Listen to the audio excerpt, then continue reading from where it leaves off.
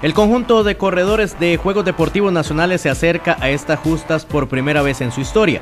Este equipo es un grupo de jóvenes con grandes aspiraciones en el fútbol, en una zona donde el técnico cuenta que es complicado armar una escuadra de balompié, pero ante todo lucharon y hoy están a solo 90 minutos de acción de conseguir un enorme objetivo.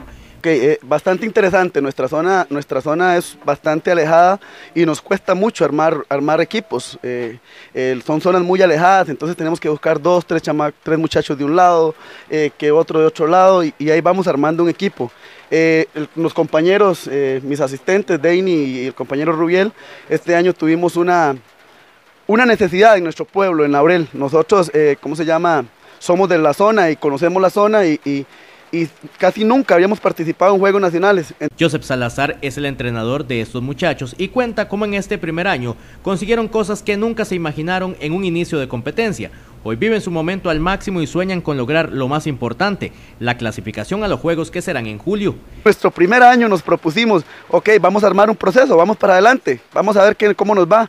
Y resulta que en nuestro primer año nuestro primer proceso, estamos en la final de, a un paso de Juegos Nacionales. Creo que bastante la, ayuda de Dios y bastante motivados los muchachos también. Aunque pareciera que el 0 a 0 favorece las intenciones de corredores, el técnico dice que trabajarán el partido de la mejor forma posible para derrotar a un equipo que respetan como es Pérez Celedón. Fútbol, fútbol. Eh, eh, yo eh, técnicamente o tácticamente yo le puedo decir a usted que vamos a atacar los que nos van a atacar. No, no, no, es fútbol tratamos de que el equipo de uno sea muy ordenadito, muy ordenadito, pero es un equipo que todas las peleas nunca se va a dar por vencido, se los garantizo, y eso es lo que se van a encontrar allá. Se van a encontrar un equipo guerrero, un equipo que todas las luchas, no se va a dar por vencido. El duelo en corredores, donde el sueño de dos equipos se cumplirá, pero solamente para uno, será este sábado a las 12 mediodía en Laurel.